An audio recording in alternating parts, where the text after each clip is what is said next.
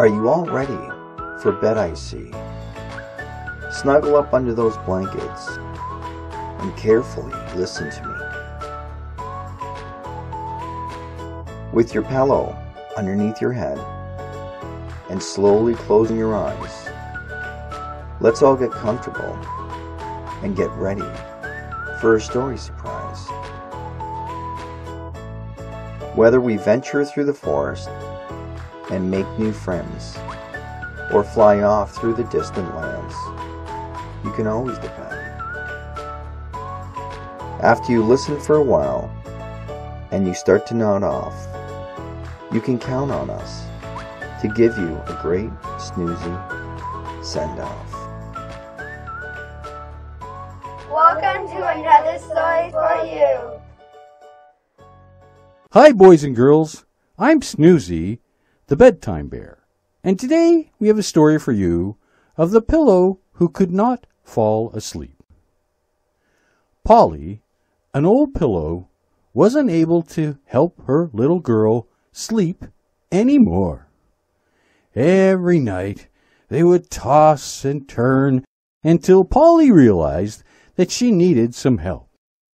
As problem after problem arises, Polly learns the importance of asking for help and keeping calm when things seem hopeless. The pillow who could not fall asleep. Every night was the same for Polly the pillow. She watched out the window as the sun set and the moon rose up in the darkening sky as she snuggled her fat cheeks into the bed sheets and closed her weary eyes. She would just start to drift off into dreamland when she was punched and squashed and puffed up by a little girl who slept on top of her in the bed. It was the job of the pillow to give the little girls and boys a comfy place to rest their heads at night. But Polly scowled at Harriet, who was still full of energy, when she came to bed at night and continuously rolled around and tried to fluff up Polly. Polly wondered to herself when this would ever stop. Many times Harriet's mom called to her, asking her to settle down in her bed. But Harriet continued to toss and turn with her pillow. Sometimes she even put the pillow between her knees under the sheets when she was too restless and tired. And this made Polly very annoyed. And she couldn't really breathe properly under all those sheets and blankets and being squeezed so hard.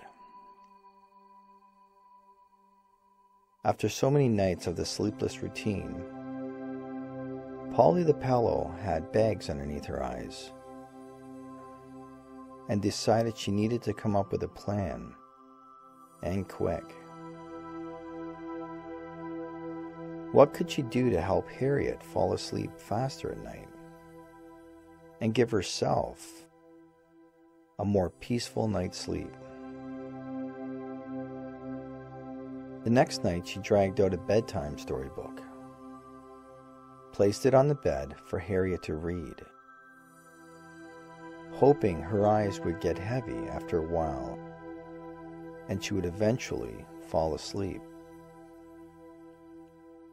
This was Polly's plan. Harriet thought that her mother had left the book on the bed, so she tried to read it hoping it would help her fall asleep at night. She would read a few pages, then squish the pillow around her neck to try to get herself into a more comfy position. This went on for several times, but it didn't work. She couldn't get comfortable no matter how much she tried. And she finally gave up on it and put the book back up onto her shelf. Polly would not give up either. The following evening, she turned on Harriet's radio before she entered the room and slid back up underneath the covers to wait for her. As Harriet entered her room and heard the radio, she thought again that this was another tactic by her mother who was trying to lull her into sleep. She lay down on Polly the pillow, closed her eyes, and listened to the music the best that she could. But again, this did not help her fall asleep. After a while, she began to sing along with all the songs and kept both herself and Polly awake. Harriet's mom heard the singing and came into her daughter's room and shut off the radio. She asked her why she was having such a hard time falling asleep lately.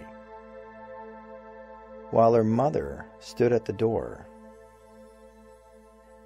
Harriet was trying at this point to get comfortable, so she was punching and pounding her pillow to get it just right. This was usual behavior with a pillow and did not hurt Polly at all.